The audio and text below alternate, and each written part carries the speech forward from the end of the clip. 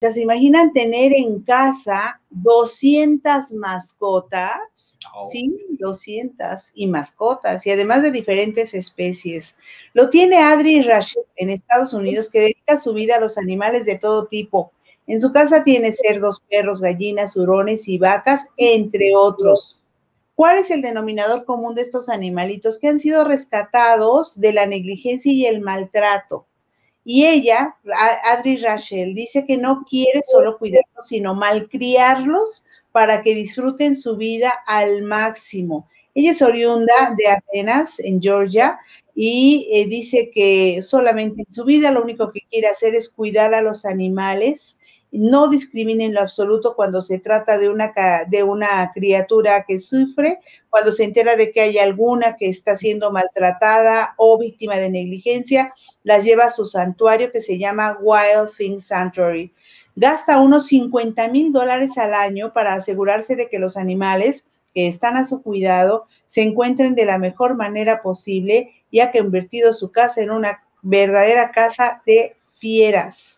Se dio cuenta, gracias a sus padres, de que ella tenía un llamado del destino y que era ese, justamente a lo que se dedica. No le interesa cumplir solo con las necesidades básicas de cada uno de estos animales, sino que vivan con más comodidades de las habituales. Quiere malcriarlos porque como ya sufrieron negligencia y maltratos y escasos cuidados, quiere compensarlos. Bueno, gasta mucho dinero. Sí, además de los 50 mil dólares exclusivamente en materiales, gasta 1.300 mensuales solo en alimento y alrededor de 10 mil al año en veterinarios. Es mucho dinero, pero de todas maneras no pretende abrir su santuario al público, si bien eso le significaría un ingreso extra y un alivio para su billetera. Piensa que la visita de otras personas puede resultar estresante para los animales. ¿Y entonces qué hace?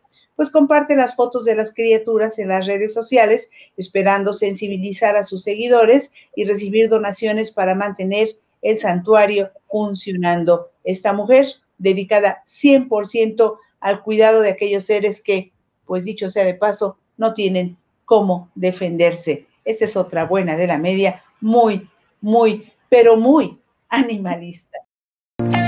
Gracias por haberte quedado hasta el final para ver este video. Recuerda, puedes suscribirte, darle like, compartir con algunos otros que creas les puede gustar el video de nuestro canal. Recuerda, es el canal del equipazo informativo con Blanca Lolvé. Y Carlos Castellanos. Dale like, activa la campanita y de esa manera te enterarás cuando haya contenido nuevo. Y recuerden, el equipazo Somos todos.